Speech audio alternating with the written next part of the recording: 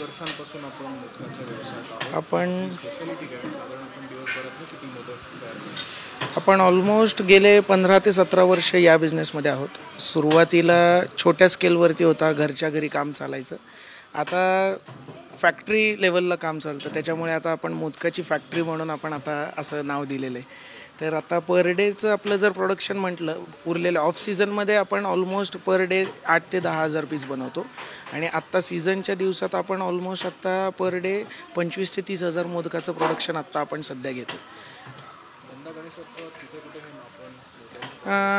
बऱ्याच बऱ्याचशा wholesale shop म शॉप्समध्ये आपण होलसेल बेसवरती देतोच. पण आत्ता रिसेंटली आपण मेढीज मोदक घर नावाने आत्ता आपण ब्रँड चालू केलं आहे त्याचे दोन शॉप्स आपण कोथरूड आणि कर्वेनगर असं दोन एरियामध्ये आपण शॉप्स चालू केलेत जिथे आपण थ्री सिक्स्टी फाय डेज गरम गरम मोदक सर्व करतो. एक्सपोर्टचं आत्ता आपण यावर्षी जर म्हणायचं झालं तर बाहेर देशात आत्ता आपण थर्ड पार्टी एक्सपोर्ट आपण आत्ता करतो आहोत.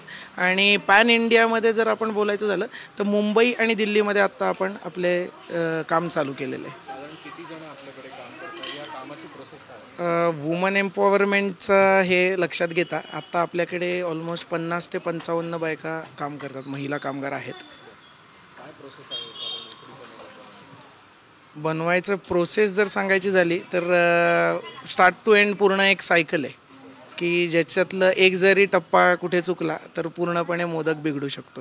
म्हणजे अगदी सा सुरुवात सारणापासून जरी करायची म्हटलं तरी अगदी सारण ते सारण गूळ आणि खोबरं एकजीव जोपर्यंत होत नाही तोपर्यंत परफेक्ट सारण होत नाही. तसंच पिठाचं जर म्हटलं तर पिठाचं जे पिठाचं आणि पाण्याचं जे प्रमाण आहे ते त्याचंही तेच गणित आहे की जे जोपर्यंत एकजीव होत नाही तोपर्यंत वरचं कवर तितकं सक्सेसफुली होऊ शकत नाही.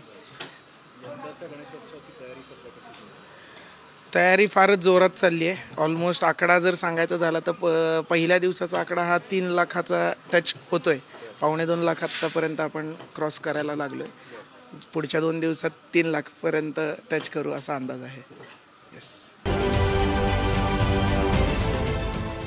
देश विदेशातील प्रत्येक घडामोडींचे लाईव्ह अपडेट मिळवण्यासाठी आता साम टीव्हीच्या सर्व सोशल मीडिया प्लॅटफॉर्मला लाईक फॉलो आणि सबस्क्राईब करा. तसंच सर्व नोटिफिकेशनसाठी बेल आयकॉन प्रेस करायला विसरू नका.